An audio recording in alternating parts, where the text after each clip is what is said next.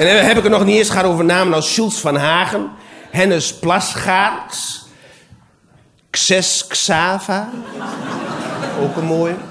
Varoufakis, Tsipras. Ja, dat was me ook een langgerekt verhaal, zeg. Grexit of geen Grexit. Ik wil niet de filosoof uithangen, maar ik heb de tijd nog nooit zo lang op 2 voor 12 zien staan. Het lijkt er weer een tijd geleden, maar het ging hard tegen hard toen hoor. De stropdassen tegen de losse boorden. De stropdassen hebben gewonnen. Die grijnzende dijsselbloem is ook een van die beelden die ik niet meer van mijn netvlies krijg. Ik had daarom een beetje te doen met de Grieken. Dus ik dacht laatst, ach, laat ik Griekenland economisch eens een beetje voorthelpen. En eens een keertje gaan eten in een Grieks restaurant. dus ik naar een Grieks restaurant. Het was december, dus lekker warm weer. En de ober vroeg ook, wilt u buiten zitten of binnen? Ik zeg graag buiten. Heeft u voorkeur voor een bepaalde plek? Ik zeg graag een tafeltje bij het raam. Hij zei, zeker meneer, was een heel aardige man. Ik zeg, als ik vragen mag, hè, bent u een echte Griek? Ja, hij was een echte Griek. Waarom hebben jullie eigenlijk toegegeven aan die, aan die strapdassen? En toen legde hij uit hoe graag de Grieken bij Europa willen horen. Europa, daar hebben ze al hun hoop op gevestigd. Net als al die vluchtelingen die nu over ons continent uitzwermen. Ons Europa staat voor hoop. En nu is het de vraag of er geen ijdele hoop is. Want ja, op zich kun je best wel met een bootje de Middellandse Zee oversteken, maar die arme vluchtelingen zitten allemaal in hetzelfde schuitje. En dat geeft rampzalige gevolgen. En nu gaat het erom hoe reageren wij op de hoop van die vluchtelingen en op die aanslagen in Parijs. In de stijl van Merkel en Hollande of in de stijl van Le Pen en Wilders. Met andere woorden, wordt het Europa of nationalisme? Of gaan we weer gewoon net als vroeger de Turken inhuren om het vervelende werk te doen? Europa of nationalisme? Griekenland koos voor Europa. De rest van Europa is hevig verdeeld. Ik zat daarom afgelopen zomer in Berlijn. Maar als je ergens kunt nadenken over de vraag: moet het Europa worden of nationalisme, is het Berlijn. Ik zat er aan de voet van de Brandenburger Tor in de lounge van Hotel Adlon. De bediening was typisch Duits. Streng maar rechtvaardig. Aan de bar zat een dame van dik in de negentig. Maar dik in de negentig of niet, ze droeg een blote avondjurk. Die duidelijk zicht gaf op een decolleté. Dat ik het beste kan omschrijven als gesunkenes cultuurgoed. ze zei me dat ze Eva Gubbels heette. Ja, nu klinkt dat in onze oren misschien verdacht, Gubbels. Jongeren moeten maar even googlen waarom. Maar je moet wel bedenken dat Gubbels in Duitsland een heel gewone naam is. Ik bedoel, dat is daar net zoals hier uh, Mussert. Ik raakte met haar aan de praat dus en we kregen het over het opkomend nationalisme in Europa. En toen vroeg Eva wat zij ervan vond. Ach, zei ze, dat is vaderland. er zo was. En dat deed me denken aan het Duitse liedje. Ik heb in Frankrijk die pfeifen verbrand. Alles fürs Vaterland. Warum, zei Eva, soll das eine Vaterland besser sein als das andere? Und warum soll immer mein Vaterland das bessere zijn? Maar ja, ik snap dat wel. Wat van jezelf is, waardeer je toch meer. Het is misschien niet goed, maar ik heb zelf ook hoor. Ja, zo vind ik mijn tuin mooier ingericht dan die van de buurman. En ik vind mijn cd-verzameling smaakvoller dan die van de buurman. En ik vind mijn buurvrouw leuker dan die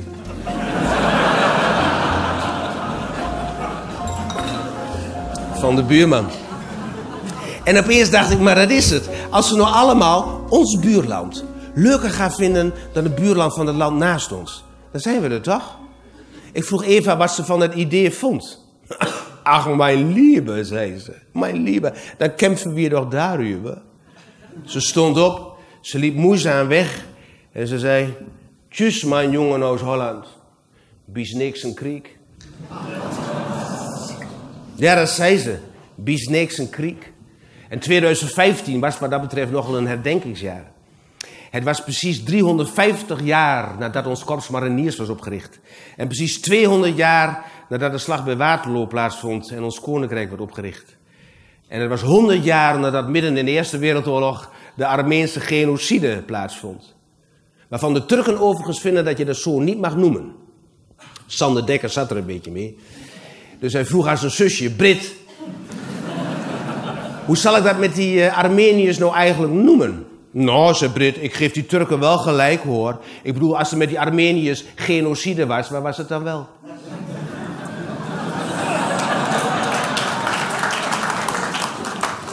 En dat was precies 75 jaar nadat de Tweede Wereldoorlog begon. En precies 70 jaar nadat hij weer ophield. Ik heb nog een uh, filmpje gemaakt over de bevrijding van Almelo. Dat filmpje was voor RTV Oost. Of eigenlijk moet ik zeggen RTV Oost, het geluid van uw eigen regio. We stonden daar midden in Almelo te filmen, waren van de jaren 40 kleding aan. Sommige figuranten hadden een weermachtuniform aan, anderen waren weer verkleed als Canadees. Komt er een Almeloer op zijn bromfiets, keihard naar ons toegesjeest, remt vlak voor ons, stapt af en zegt: Oh god, god, god, wat zijn jullie aan het doen? Toch geen film over de oorlog gaan maken, of wel? Ik zei, ja, we maken een film over de oorlog. Oh, god, oh, god, oh, god. Als mijn vader dat hoort, dan komt bij hem alles weer boom. Dan komt alles weer boom. Komt dat niet op televisie, of wel? Ik zei, ja, het komt op eh, RTV Oost. Oh, mijn vader kijkt altijd RTV Oost, het geluid van uw eigen regio. En dan ziet hij dat en dan komt bij hem alles weer boom. Dan komt alles weer boom. Ik zeg, goh, heeft je vader in het kamp gezeten of zo? Mijn vader, nee, zei hij. Mijn vader heeft half allemaal verraden en dan komt allemaal weer boom.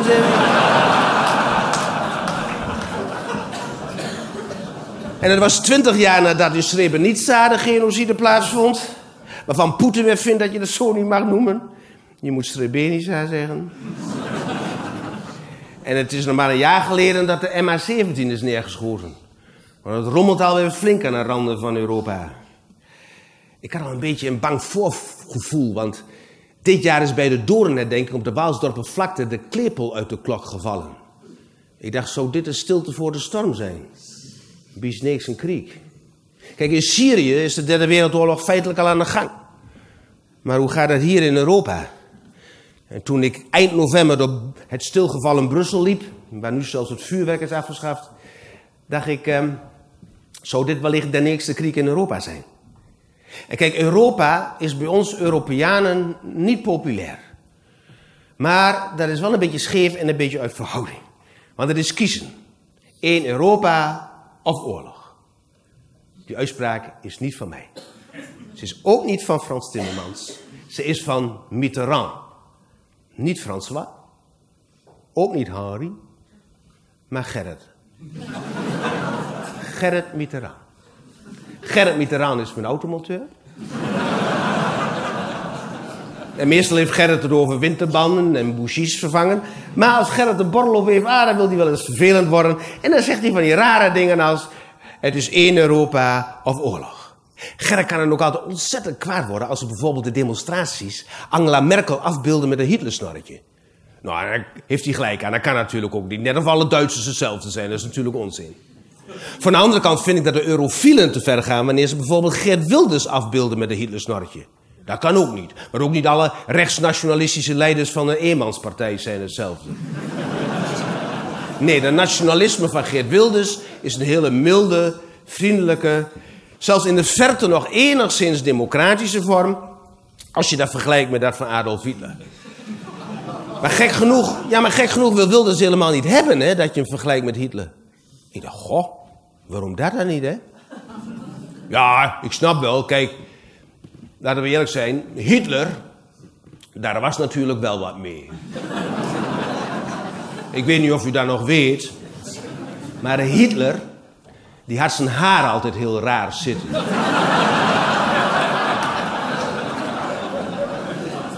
maar ja, denk ik dan, als dat nou alles is.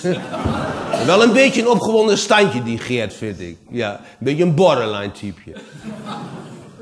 En als ik heel eerlijk ben, vind ik dat Adolf Hitler zijn haar leuker had zitten dan Geert Wilders.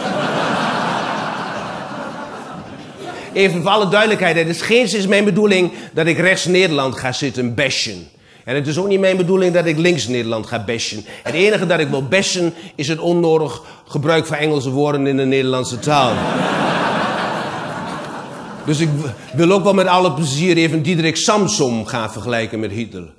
Ja, en als ik Samson vergelijk met Hitler, ja, dan had Hitler helemaal een prachtige kop met haar. Maar ook Samson wil niet vergeleken worden met Hitler. Geen, geen enkele politicus wil vergeleken worden met Hitler. Ik snap dat niet. Ik word heel graag vergeleken met Hitler. Ja, dan kom ik er gunstig vanaf. Dus uh, ik vraag me af hoe dat met die politici zit eigenlijk. Jammer. Zeker van de PVV. Want die partij heeft wel een beetje mijn hart gestolen, moet ik zeggen. Ja, in tegenstelling tot mijn collega cabaretiers mag ik de PVV wel. Alleen, dat elitair filosofische gelul van hun altijd. Stel het je nuance neukers. Ja, Geert Wilders voorop. Het is bij hem toch ook altijd, ja, enerzijds dit en anderzijds dat.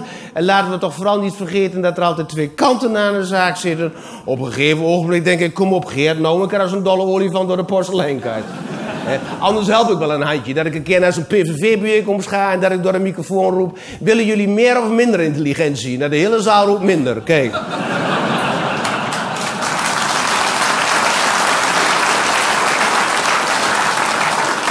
Dan kijk je niet weg en dan noem je het gevaar bij de naam. Maar goed, Gert Wilders mag dan af en toe wat overgenuanceerd en al te filosofisch uit de hoek komen. Ik geef hem wel gelijk hoor wanneer hij zegt: je moet de hoofdzaken van de hoofddoekjes onderscheiden. Soms is enige nuance nog niet eens zo gek. Zo, om even bij te komen van het nationalistische geweld, even een korte tekst over de schoonheid van Gods schepping. Het is getiteld De benen van Greetje.